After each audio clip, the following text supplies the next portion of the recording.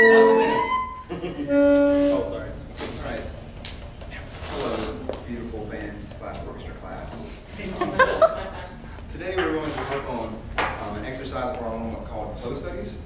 And I can't take credit for writing these because they were originally written by a fellow named Vincent Cichowicz. Um, so we're going to work on these today, and what these will help us do for brass players, these are very good for helping us extend our range because they start out in a very comfortable range towards the bottom of the horn and then gradually we build up into the higher range. So it's a good way to practice breath support and control in the higher range of the instrument. And then for woodwinds, this will help you guys uh, practice your fingerings, and for strings, um, yeah, you guys are here. So thanks, thanks. String crossings, strings, Yeah. string crossings. So the way that these work, we'll start out with this pattern. And this is going to be, we'll, we'll start with, uh, we'll start with concert B flat, and these are going to be scale degrees, okay? So we'll have five, sharp four, five, six, five, three, one. Oh, That's the pattern, we're gonna play this in half notes. All right, so can somebody tell me if we're playing in the key of concert B flat, what is the fifth scale degree? Well, in concert, in concert pitch. Let's, let's speak concert pitch as we're talking together. So yes, if you play a B flat So what would sharp four be? E natural. E natural. And then five again, so F. What is six? G. G, F. What's three? D. D. B flat. Biffle. Buffalo. So yeah, take a moment to figure out what those notes are on your instrument.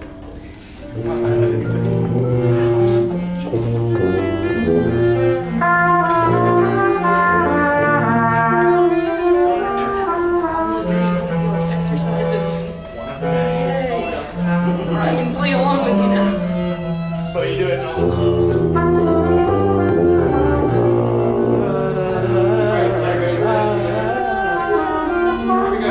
All right,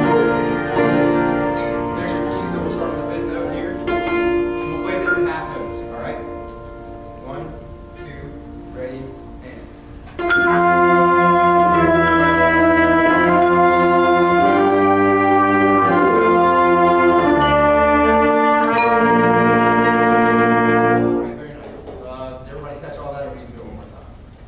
Let's do it one more time. All right, here we go. One, two, ready, and.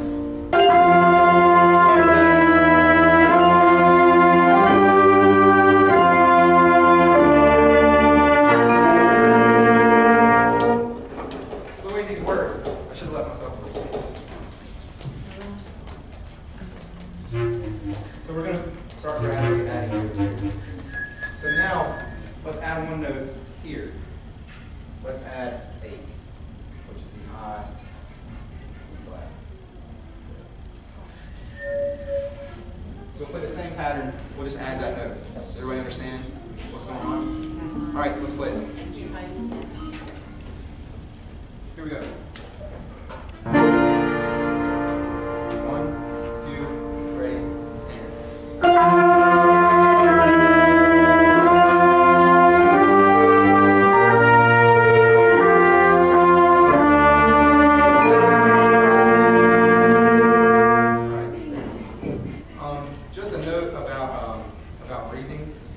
Breathe, to do this, particularly when you're playing long notes, it's very nice to have a nice open syllable when you breathe. Because uh, if you breathe and you do like this, there's going to be tension in your chest as you try to play. It. So somebody tell me a syllable that would be beneficial to think about as you're breathing.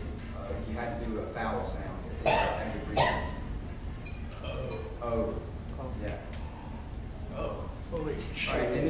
Ideally, I will keep adding notes when we work up, but for the sake of time, I think you. Brad.